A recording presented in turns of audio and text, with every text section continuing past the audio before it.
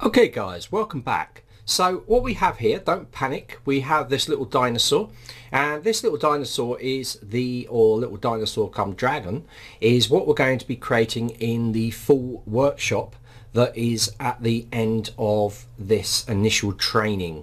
So don't worry if you um, kind of like, oh, what's happened here? Have I missed a bit? It's all right, it's coming up.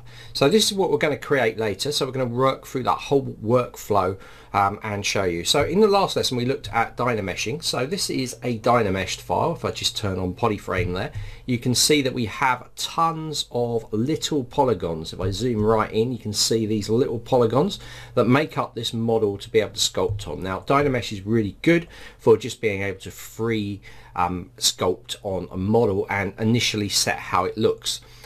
We're going to need to create this in a low polygon version of this. So we need to create these subdivision levels which we did earlier on in the course. Now don't worry we can do that inside ZBrush. So what we're going to do is for this Dynameshed version I'm going to go to the subtools. You can see this Dynamesh version. Again don't worry about the tool the eyes. We're going to create those in the workshop at the end as well. But we have this one here you see and this is our Dynamesh version. So what I want to do is I want to create a clone of this and then create a low poly version of it. And then it's going to allow us to do things like UV mapping where we basically flatten the skin out and we're able to paint on it and then save that texture out to be used in other applications.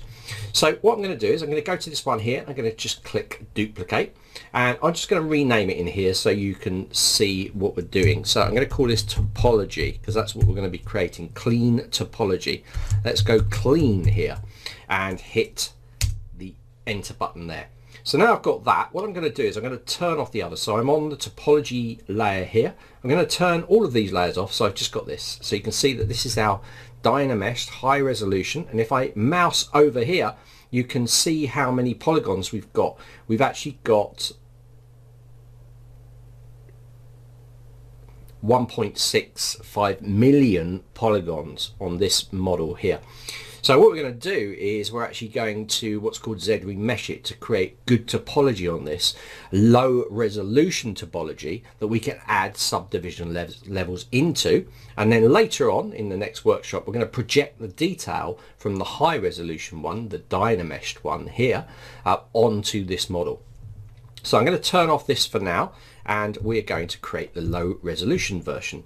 So I'm going to go into, I'll actually leave this on so you can sort of see it happening on the model. So I'm going to go down to where we've got geometry down here and under the geometry tab you're going to have this I'm just going to turn Dynamesh off for this as well by the way if it's on and I'm going to go to Z Remesher now Z Remesher is what we can use to create um, a much lower resolution mesh that will follow the contours or the shape of the model. This is really important. So what I'm going to do now is I'm going to set my poly count on about three in here and you might have to change this. It's alright, you can undo and redo it. So I'm going to set it on three and I'm going to leave the rest of the settings the same. Uh, we will get back onto these at some point uh, when we're doing through our workshop. I don't need to go into detail about all these things at the moment. Just keep it on default and I put that on 3 on there. Now all I'm going to do is I'm going to hit Z remesh.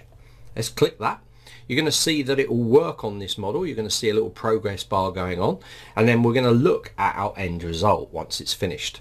So it's going to run through this and it's basically going to cut all this down into nice clean flowing topology over the model. So the polygons will flow around the contours of the model. So let's have a look at what it's going to create. It's going to come up in any second now and we should see here we go. So look at this look at the flow of these polygons. They're flowing around the model. They follow it all round giving us really clean flowing topology over this model. So if I turn off the polyframe here you're going to see that it looks quite low res. And that's because it is but it makes it easy for us to actually UV map this for textures later. So let's have a look at the poly count of this now. So you can see this poly count for this one is now 14,000 from 1.6 million. So we've created a much lower resolution model. Remember, we've still got this high resolution model here, the Dynamesh version, but we've now got this low resolution model. So with this low resolution model, we can actually put subdivisions back into it and then project the detail. I'm going to project the detail in the next workshop. So I'm going to add some subdivision levels into this and we're going to go to geometry and you're going to, well, as soon as I click the divide here, you're going to see it's going to go a lot smoother. So here we go.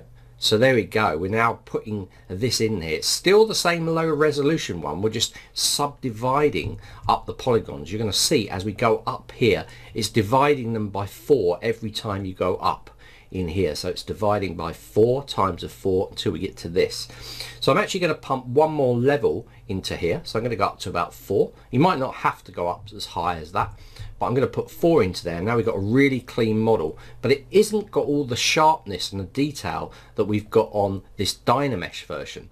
So we need to project the detail from this high resolution Dynamesh version onto this low resolution model. And we're going to do that in the next lesson. So there in that workshop there we looked at how we can actually retopologize a model.